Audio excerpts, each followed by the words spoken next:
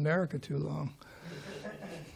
Hare Krishna, Jaya Radha Madhava Kunja Bihari.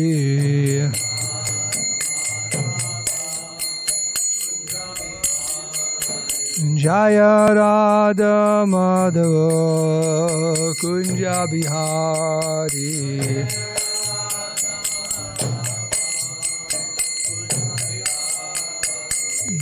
गोपीजनवल्लभा Girivardhari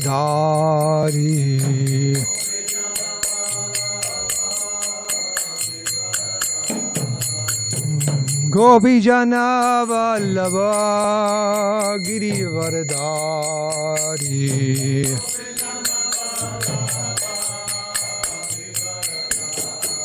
यशोरनन्दना Vraj जनरञ्जनो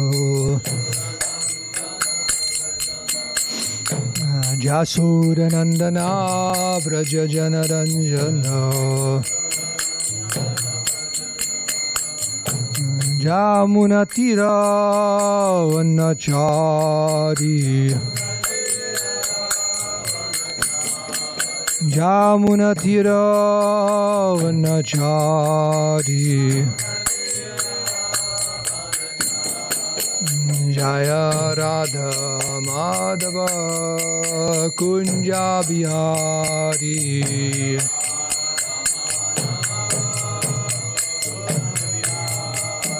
Jaya Radha Madhava Kunja Bihari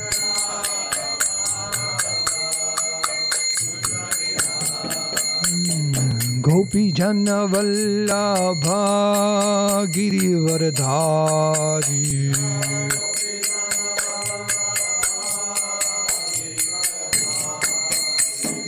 गोपीजन Vallabh गिरिवरधारि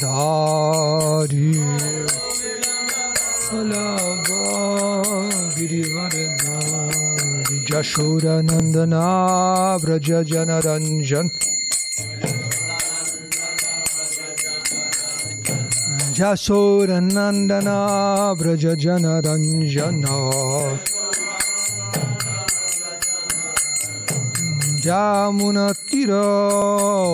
जामुनतिरन्नचारि जामुनतिरन्नचारि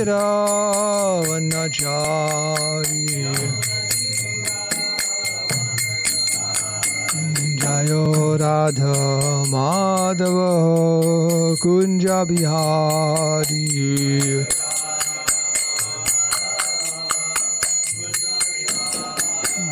जय राध Madhav Kunj Bihari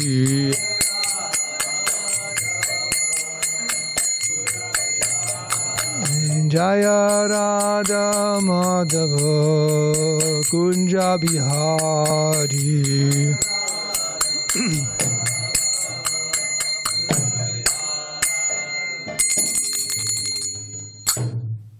Jai Om Vishnupad Paramahamsa Parivraj Gajaja Shudra Shri Srimad His Divine Grace of Bhaijarana Ravinda Bhaktivedanta Swami Shri Gopal Ki Jai Jai Om Vishnupad Paramahamsa Parivraj Gajaja Shudra Shri Srimad His Divine Grace Shri Bhakti Siddhanta Saraswati Goswami Maharaj Prabhupada Ki Jai Ananta Koti Vaishnava Vrinda Ki Jai ISKCON Founder Charya BBT Founder Charya Shri Gopal Ki Jai नामाचार्य शिल हरिदास ठाकुर की जय प्रेम जी श्री कृष्ण चैतन्य प्रभु नितानंद श्री द्वैत गदाधार शिवासी गौर भक्त वृंद की जाय। ग्रंथरा श्रीमद भागवताम की जाय।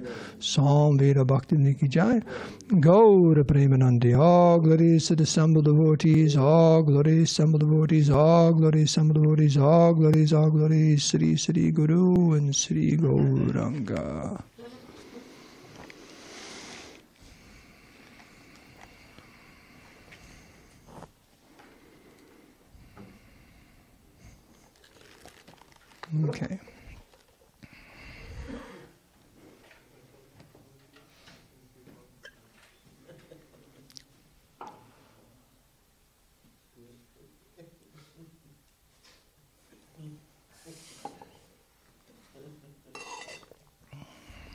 If Vedic culture was so advanced, why didn't they have laptops? Laptops.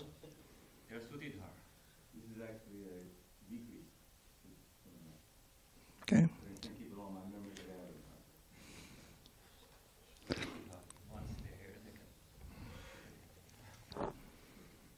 So this morning, reading from the seventh canto, fifth chapter, this is text number six. Narada Muni is speaking. ओम नमो भागवते वासुदेवाय। ओम नमो भागवते वासुदेवाय। ओम नमो भगवते वासुदेवाय।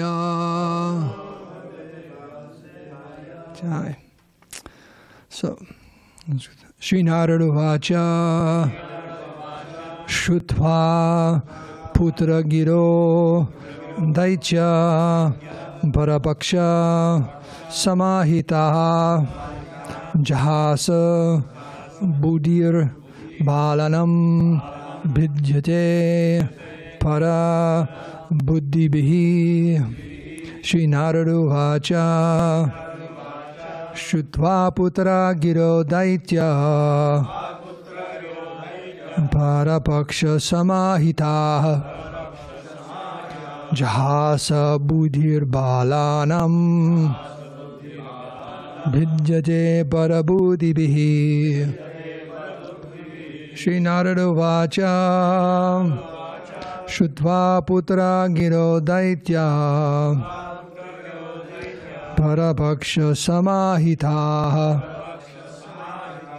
जहास बुद्धिर्बालानम भिज्यते परबुदिभिः श्रीनारवाच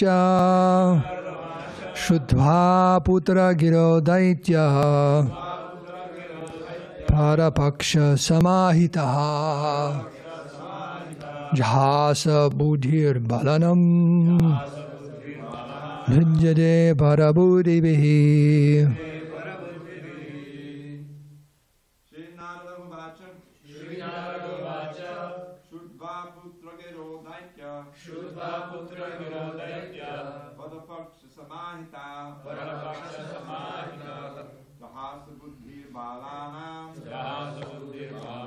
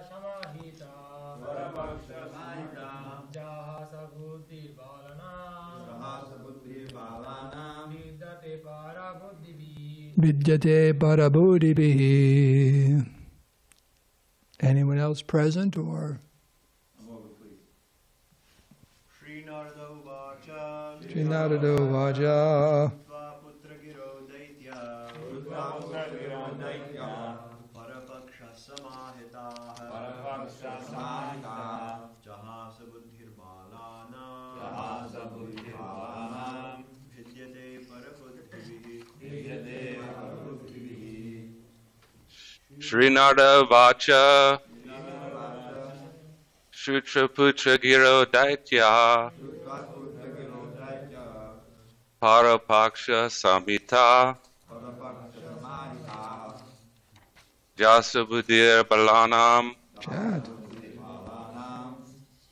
Vidyate Para Buddhi Bahi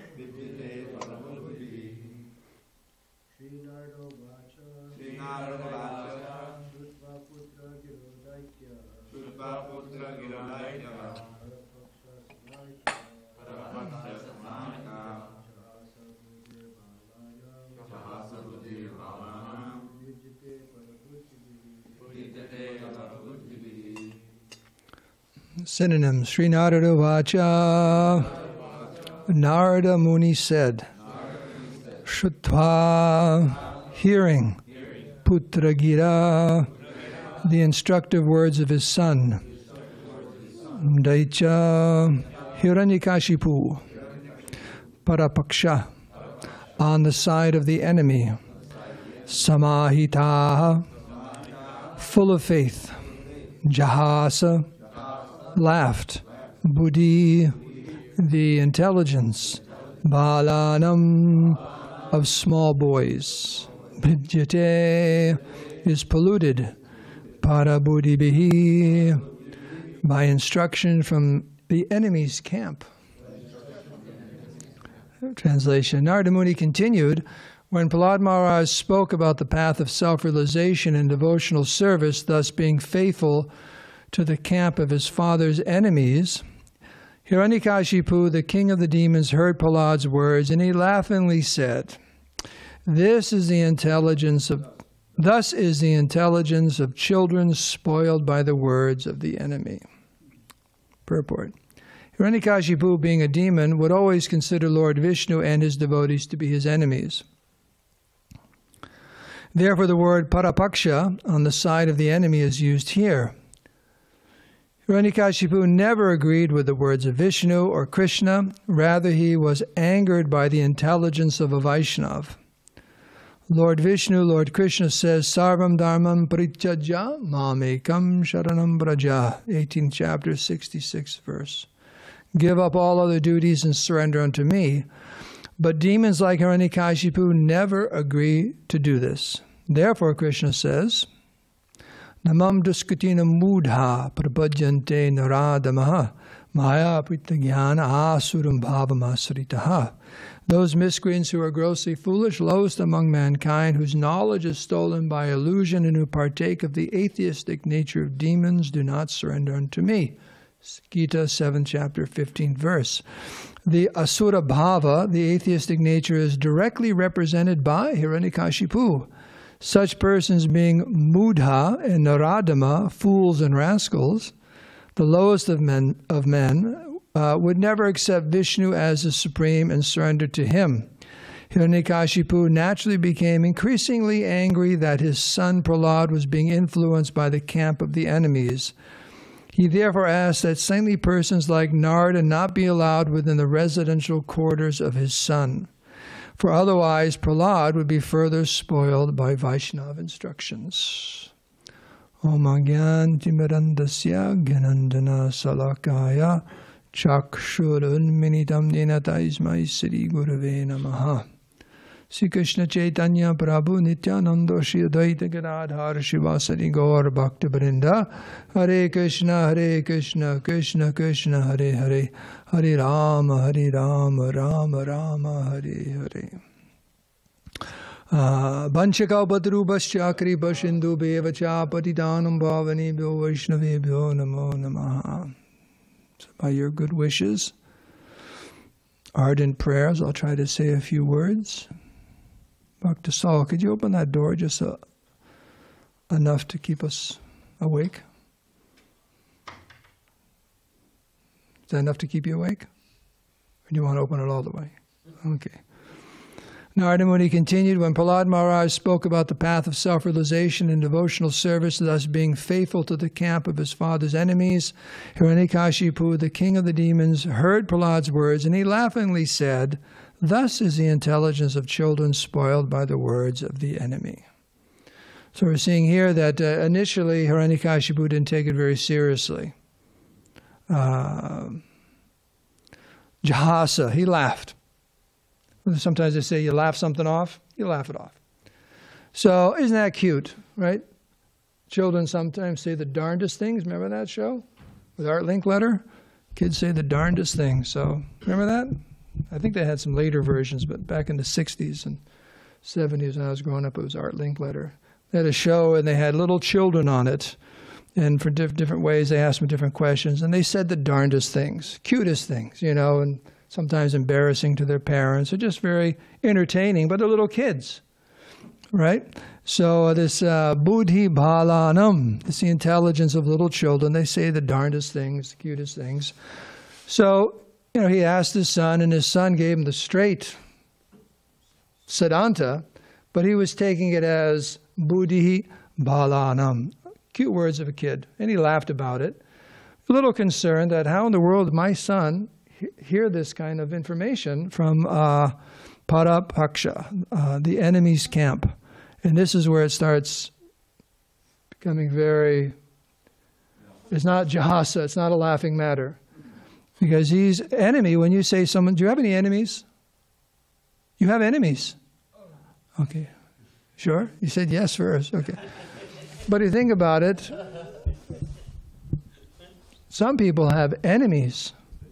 A lot of people have enemies to the point where if they saw them, they would kill them or, or at least hurt them within their mind, with their words, or physically. And just the thought of them makes their blood boil. You ever that expression? Makes your blood boil, just hearing them. So that's the nature of this material world. And later on, Prahlad Maharaj is explaining that, uh, you know, these kinds of, he didn't like school because he's telling my teachers they want to tell us, these are my friends, these are my enemies. He said, as far as I'm concerned, everyone's a devotee of Krishna. I can't relate to this, uh, these instructions that I'm supposed to see you as an enemy and I'm supposed to see you as a friend, etc. All these different things. It just doesn't register for a Vaishnav, but for a materialist, it's a very, very, very important thing. I just saw a little little blurb on the internet because you know, you know, it comes up, pops up, and you, it was about how they're criticizing our, our, our, our present president for not being more aggressive in the international arena. And now China, and of course you have Russia, that whole thing's going on in the Middle East. These are enemies, and now they're becoming emboldened, you know, to do all kinds of horrible things around the world, which ultimately will affect us. So immediately this, our enemies, and they're doing horrible things, and we should just go in there and smash them like that. We need a president like that. So that was the that was the gist of the, the little article. So this discrim- discriminating who's an enemy and who's a friend, uh, that's that's going on. Uh, Prahlad Maharaj doesn't have that uh, consciousness, but Hiranyakashipu does, because he is, as described here, um, Daicha, or uh, uh, as Prabhupada brings up this very important verse in the Bhagavad. Verse isn't important, but it's a pivotal verse, struck, very instructive verse. In the seventh chapter, he explains there's four kinds of people that never surrender to me, and there's four kinds of people who do surrender to me. So there's an analysis there is given. This namam discreti- they're called discretinas, which is a compliment on one hand that they're very meritorious, but they're going in the wrong direction. Like that. And the first is the mudha. You ever been called a mudha? Have you? Yeah. Happens. Like that. Means fool. You fool, what are you doing? Have you been called a mudha? He's married. Any married man's been called a mudha, right? You've been called a mudha, more or less? Okay. You get it from your wife, you get your spouse, your kids. Mudha means a fool. Now, now I'm not going to open this up because we don't have much time. You can open this verse up and read the purport, and Prabhupada elaborates what is a mudha. Very, very base, uh, intelligent, not much intelligence, just very much just working very, very hard for the creature comforts of life. And there's not much more to life than that. No real interest in anything spiritual. Mudha, a fool. Uh, the uh, prime example of the mudha is the donkey, right? He's working very, very hard, carrying the washerman's load, and doesn't realize on each side of the road there's so much grass, but he's working so hard he just he gets a little grass at the end of the day. Oh, this is wonderful, this is wonderful, like that. Like that. And sometimes he speaks philosophy, but no one appreciates. Can anyone imitate a donkey? Can anyone imitate a donkey? Yeah, yeah, that's that's the noise. It's very, very. If you ever hear, if you ever hear one, it is irritating. It's an irritating sound. It's not pleasing at all, right? So that's their speaking, and then Prabhupada says they go for sex and they simply get kicked in the face by the female donkey. So that's a mudha. That's the example given. Then you have your Naradama, which is a, uh, you could say, more uh, advanced culture. Human beings, you know, they have a culture and this and that, but it's all godless. And they're very, very proud of all of their achievements and so on, but they're completely godless and very, very proud of their godlessness. Maya pritagyana, which means jnana means knowledge. Knowledge is stolen by Maya or illusion, and that's your philosophers and theologians and so on who really don't know anything about the absolute truth. They're concocting and speculating, and they're impersonalist and and so on. And then the asura are the out and out asuras. They're just out and out, you could say, demoniac demons, very uh, anti God, very cruel, and so on. So these four kinds of people don't surrender to Krishna. Then Krishna explains there are four who do. There are four who do surrender unto him. But as far as this asura bhav, atheistic nature, in the Bhagavad Gita, uh, this is brought up. In fact, I'm going to grab it right here. I have a little bit of time. Maybe just, you know, the 16th chapter of the Gita is about the divine and demoniac natures. Krishna wants us to understand, you know, where we stand. In the very beginning of the chapter, it's uh, enlivening, an enlivening verse because Krishna is telling Arjun, let me see here. He lists all these wonderful qualities. Should I read them?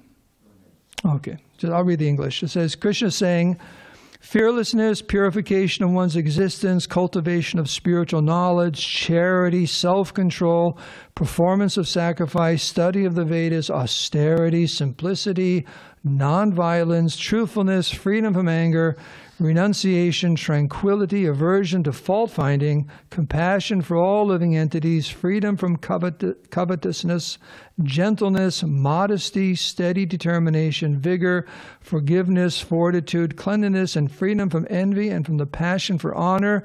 These transcendental qualities, O son of Bharata, belong to godly men endowed with divine nature. But this chapter is called the divine and divine. This is the only thing Krishna says about the divine. The rest of the chapter is about the other, uh, the demoniac qualities. And uh, let's see if I want to read any of the rest. Well, let's just, just read one here. Now, this is the antithesis. This is the demoniac pride, arrogance, conceit, anger, harshness, and ignorance. These qualities belong to those of demoniac nature, O son of Pritha. Uh, the divine natures are conducive to liberation, and the other ones they make for bondage in this material world. And then uh, Krishna tells Arjun, uh, "Don't worry, Arjun. Uh, sampat. You're born with the divine qualities. You don't have these demoniac ones. Don't worry about it." And then he goes into elaboration of all many, many different qualities of the demons. So you know exactly if you meet a demon or not, I guess. Like that. You'll meet them. It's just there. Uh, influenced by the lower modes of material nature, these qualities come out. And I just wanted to read the last, just a few last chapters here. Uh, Krishna's saying is that the text 23, this Yashastividim utsrija vartate karmakarata, nasasidim avapnoti nasukam paramkatim. One who discards, discards scriptural injunctions and acts according to his own whims attains neither perfection nor happiness nor the supreme destination. Uh, so, let's talk a little bit about all these things. Okay. Anyways, I lost that. Uh, in the verse, uh, one word caught my attention, bidjate. Uh, Hiranyakashipu said, bidjate, spoiled. My son's been spoiled. I don't want him to be spoiled. Every parent wants their child to grow up to be just like them. pretty much, unless it's, you know, you're not doing well and you want to give your a child a, a, a better chance at life, but at least one's qualities and so on. One wants the child to grow up like them. So it's quite interesting here. He's considering that if one becomes a devotee, they're spoiled. Right? And devotees thinking if my son grows up to be a non devotee, a, a materialist, he's spoiled. Like that. So it's uh, two different ideas about what it means to be a success or what it means to be spoiled in life. And uh, Hiranyakashipu is also quite astute to know that it's by association. Therefore, he put a ban on any devotee association, any devotees, even Narada Muni, coming anywhere near his son, because very much afraid by that divine association, he'll become really Krishna conscious. There's another example. Actually, Narada Muni knows in his own his own life story, which he tells in the beginning of the Bhagavatam, his mother was a maidservant, and the Bhaktivedantas, the great souls, were there for one Chaturmasya four months of the rainy season staying, and she was serving them. And he was a little boy, like Prahlad Maharaj, and he was serving those devotees also, bringing them prasadam and maybe washing their clothes and just sitting and listening to them. And just by that association, he says, for that, for that one rainy season, his heart changed and he became the great devotee Narada Muni, and he went on with his spiritual life. So it's true, it happens just by a little association. And of course, Narada Muni was the reason Prahlad Maharaj was a devotee already, just by hearing his instructions from inside the womb. But this uh, association, and there's sadhu sangha, and there's asat sangha. You can associate with saintly persons, you can associate with those who aren't saintly, and whoever you associate with, you'll become just like them. Is it Hiranyakashipu who's quoted in the Nectar Devotion? He compares association to a, like a, a, a prism, a, light, a prism. Now, there's it simply reflects the light that goes to it. It just reflects the light. So we reflect the qualities of those who we associate with. Uh, I remember reading, a, it was in a book or an article once, that it says, You will become, you will become like the three people you associate the most with. Did you know that? And therefore, it's an article about wealthy people. They know that, and therefore they're very careful about wealthy, success, materially wealthy, successful people. They're very careful about who they associate with because you you level off with about three or four people you associate with the most in your life. So we have to chum up to uh, and associate with uh, whoever we want to become like, because you could become just like them, just like them. It's quite, quite it's, it's just a, um, what do you call it, a sociological fact. And therefore, there are different associations of people, whether it's financial and business or religious or um, academic. You know, all these different groups are there. Why do they form these? Because they know in that tight association, they'll develop each other's qualities. And you always want to, that's why it says you always want to associate with more advanced devotees because they'll pull you up to pull you up like that. So to be very, very careful. And uh, uh, I'll end with this. Does anyone here feel threatened by Hiranyakashipu? Yeah, yeah. Well, okay, okay, okay, okay. If you see him, if you see him, you'll know him. That, that's the person we're reading about here. This uh, very demoniac king and father who's about ready to torture his son for being a devotee. So uh, keep coming back. You're going to hear a lot about Hiranyakashipu. I'll tell you, it's, getting, it's going to get real exciting. Uh, not just exciting, but, uh, you know, enlightening. No, we don't feel threatened by Hiranyakashipu per se, you know. Uh, but what to be threatened by or, or concerned about or worried about is a little Hiranyakashipu inside of all of us, right? That's what we have to watch out for. And this will be brought up throughout the discussion of this pastime, and I'm sure many times the verse from the fifth canto will be quoted. Prayer to Lord Nrsingadev to destroy all of the demoniac uh, tendencies within our own hearts. So that is something, a theme that has to be uh, discussed over and over and over again because that's the Hiranyakashipu who's going to make a mess of our, our life. The little Hiranyakashipu inside of us. We all have two sides. There's some I don't know the reference to it, but it, there's I've heard it said a few times that in Satya Yuga, you know, the demons were way, way, way over there, other planets or something like that, and all the suras were here, and then gradually gets closer and closer and closer to the point where in Kali Yuga we have the, the, the demon and the devotee in the same body. So, in other words, we're going back and forth. We have those tendencies back and forth, and that's just a symptom of the age of Kali. So, we have to, we have our lower self and we have our higher self, and Krishna says you control the lower self by the higher self. And I'm going to end the class by reading uh, a song by, the translations of a song by Bhaktivinoda Thakur, where he takes the part of a materialist and uh, describes his life. In fact, the uh, song is called Amar Jivan, or My Life. It's from the Sharanagati. And just listen to these qualities.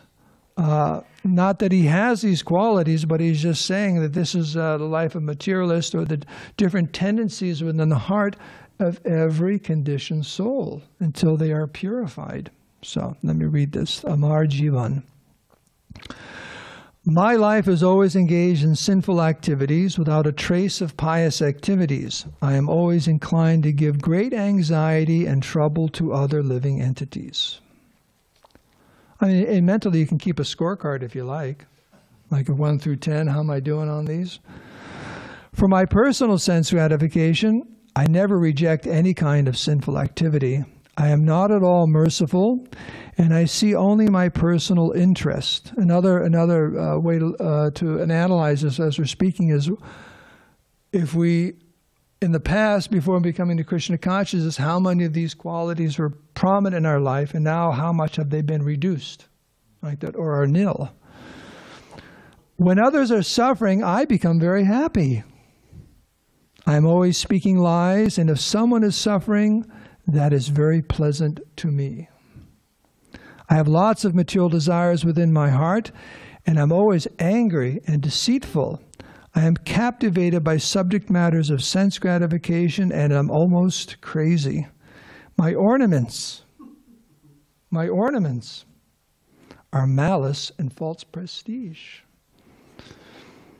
I am conquered by sleep and laziness and I'm always averse to pious activities, but I am very enthusiastic to perform impious activities.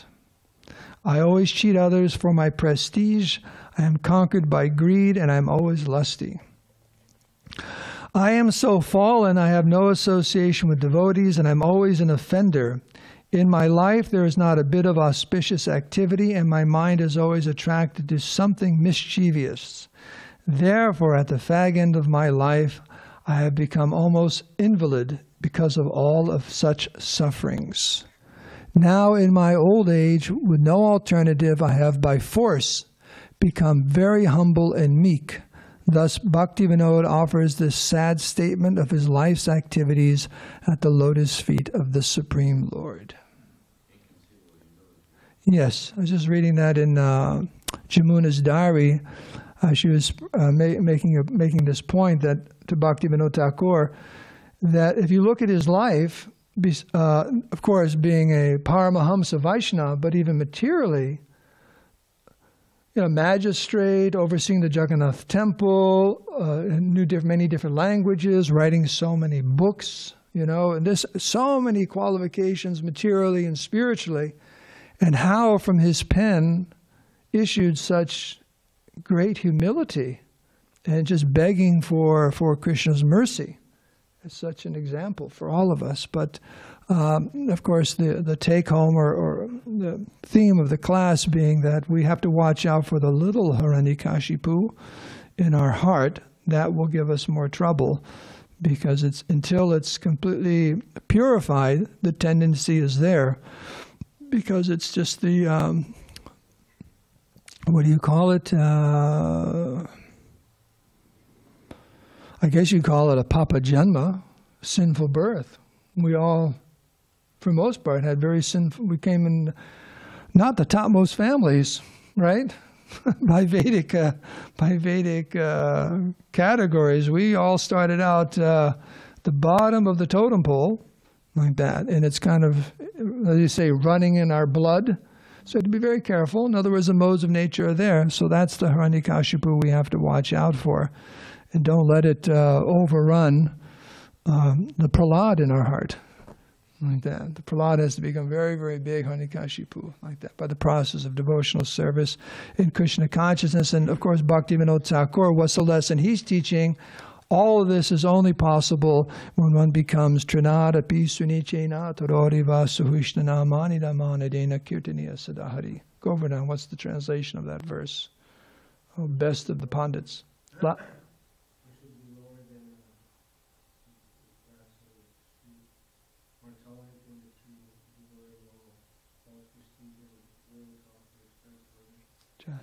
Excellent. So we can end here. Any questions or comments? Yes, please. Please, Prabhu. There's a lot to Just, uh, oh, thank you. Nice class. It's a little ironic that, that householders in our movement, they do the Garbhadhana Samskara 50 rounds before they, you know, uh, try to procreate. And the children just come out to be, you know, quite, they come out to be nonsenses. And we're, like you mentioned, we're born in Mleccha, Yavana families. Just, just, you know, our parents are just like completely sinful. And we come out to be devotees. It's uh, kind of hard to understand. They all become nonsense. All of them? No, I, I, I didn't say all of them. I said Well, well, the thing many. is that, uh, you know, just like when they talk about different kinds of Vaishnavas, there's the family Vaishnav, the Kula Vaishnav. You're born into a Vaishnav family. You know, just what you got born into. So you may or may not take that seriously because it's a family you're born into. You come to the town, you see it. You can you could say maybe you can adjust. You can say many of our Indian congregation are like that. It's their culture. They're born into it. They come on Janmashtami and this and that. But then there's the Sampradaya Vaishnav, who's met a pure devotee and uh, been inspired from within the heart to be very, very serious about their Krishna consciousness.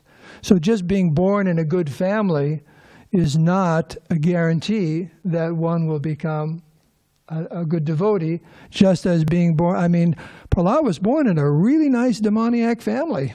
He had all facility to become a really good demon, but he blew it. He became spoiled and he went completely opposite direction. So birth is, is there, culture's there, but it's not everything. So that's that's the point. Is and uh, every sooner or later, everyone has to make up their own mind if they're how how Krishna conscious they want to be. So being born in a devotee family gives you a good introduction and start, but sooner or later you got to make up your mind. And of course, we sometimes see that devotees they start growing up, and then all of a sudden they come around. It's like whoa, they really appreciate what they had in their childhood and so on, and Gurukula and so on, and you know, it just takes some time. Can, can I add, add one thing on that point? Because I told the story before. This one Maharaj was talking about a had a student there in, in, in Mayapur, and of course, a certain time of the year was it the summer? There's a break. There's a break, and they, all the kids go home where they came from. And this one, he's a teenager. He went back to he was from Europe, and he went back to Europe. And while he was there, he thought, "Hey, you know, I'm taking a break from Krishna consciousness." So he went to a bar. He went to a bar, and he's sitting there thinking, "Oh, this is nice, nice." And he saw this attractive young woman, and he went up to her and said, "Hi, my name is you know so and so," and she said, "Hi, my name is Maya." and he just looked and said, "Uh." I think he walked out or somebody. Like, Krishna's just, my name is Maya. Like, okay, I, I, I get it. My name is Maya. So, so you got to make up your own mind. Um, following Vijay's uh, question and comment, um, I think I think that one of the things that we should also um, take into account is that we kind of blew it a little bit with the schools. I mean, the kid has a has a great chance, you know. I mean, there, you know, you look at some of those pictures of probably visiting the Dallas school in the early days, and wonderful kid dancing and everything. But still, they're, they're kids, you know. And if this, and if we blow this, if we mess up the school, and you know, we have less than ideal things going on in the school. I'm not going to get into detail. Then that's going to affect the kids also, you know. And that that's that's a that's a serious black mark. It's, it's a question of also culture, and it's not, it's with children, and it's with our congregational members. In other words, there has to be a very tight and, and, and progressive training of all our members how to be Krishna conscious. And if that's not there, just like Hiranyakashipu was worried that devotees would sneak in, so Maya, Maya will sneak in. So we have, tra- training has to be there for children, for adults, for everyone. And that, if that's all in place, you see that it's a cultural thing in the circle of family and temple and village and society. If that's all in place, people have a pretty good chance of making it. But like you said, if that's not there, then it's not so easy. It's a little bit more. But anyway, I, I was I was uh, distributing books one time. I was walking around Balboa Park, and they have like some vendors there. And uh, this is unrelated to what we were just talking about, but um, so I was walking, and this family family's walking by one of the vendors, and they're kind of like looking at the stuff, and then I guess they had a daughter or something, you know. And the lady goes, "That has Maya written all over it." I thought that was funny. I started laughing. I was there alone, just kind of laughing at it. Anything else? Uh, uh, Hare Krishna. Oh, Hare Krishna, Prabhu. Yes. I don't have anything. I don't have any readings. I'm sorry. Uh, may I? Yes, please, Prabhu. Question, Uh, comment? Dharmasetu Prabhu, thank you very much. You're most kind and about pranams. Prabhu, the, the poem by Bhaktivinoda Thakur you, you just offered to the Sangha, if I may ask, where, where can it be found? Can, can you see this? No, no. It's, Songs of the. Vaishnavacharyas. Yes, and what is the name of the song you recited? Amar, Amar Jivana, or Amar Jivan. Amar Jivan. Prabhupada sings it. There's a purport in here. Amar Jivan. Yes, thank you very much. You're uh, welcome. Prabhu. Hare Krishna. Vaishnavas. Yeah.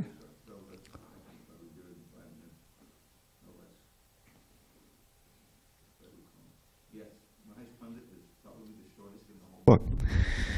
Sri Mahesh Pandit, the seventh of the twelve Gopals, they were associates of Nityananda, right hand and left hand Gopals.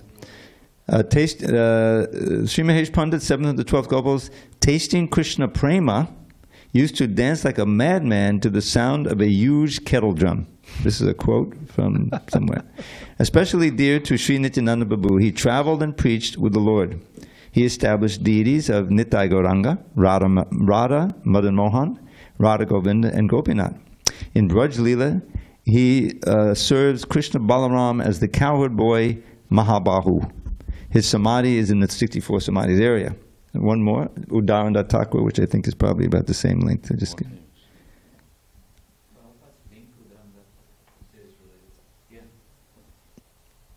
Okay, you can give a few a few little more notes, Ramapati, in one second. Just let me finish. Uddharana Datta Thakur, well, he's a little longer. Uddharana Datta Thakur, a Dwadasha Gopal, another Gopal.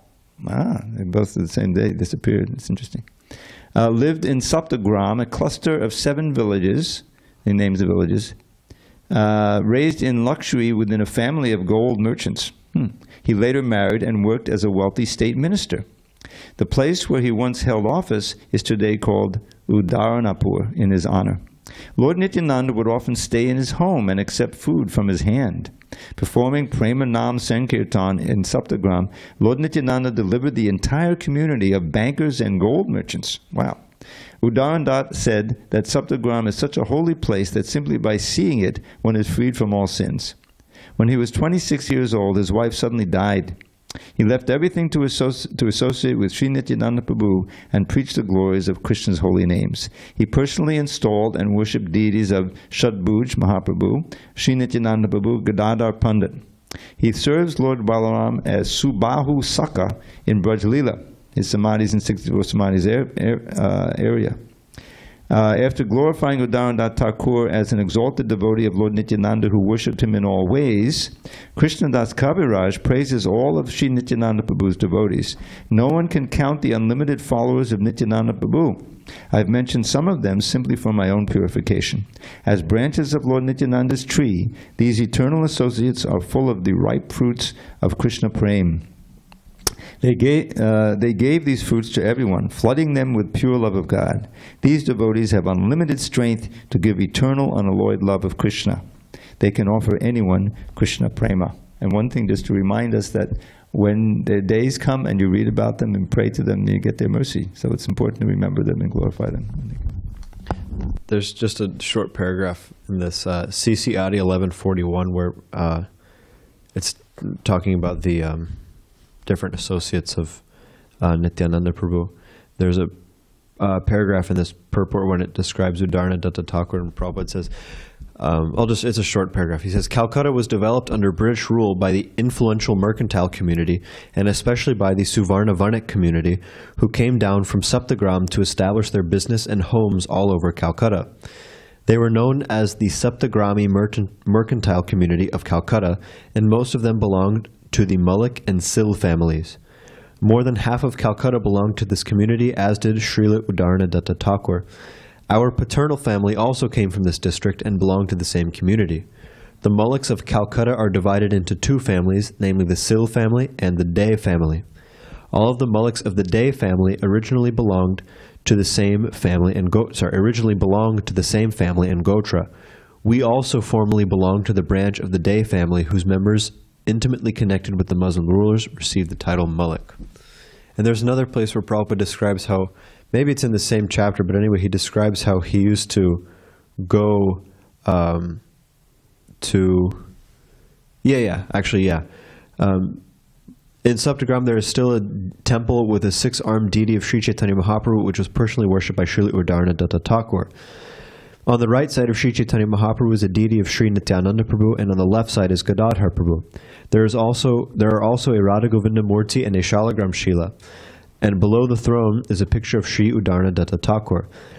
In front of the temple there is now a big hall, and in front of the hall there is a Madhavi Lata plant. The temple is the temple is in a very shady, cool, and nicely situated location. When we returned from America in 1967, the executive committee members of this temple invited us to visit it, and thus we had the opportunity to visit this temple with some American students. Formerly in our childhood, we visited this temple with our parents because all the members of the Suvarnavanik community enthusiastically take interest in this temple of Uddharana Datta Thakur. Connection. Jai. Shrimad भागवताम की जाए शिल प्रभुपाद की जाए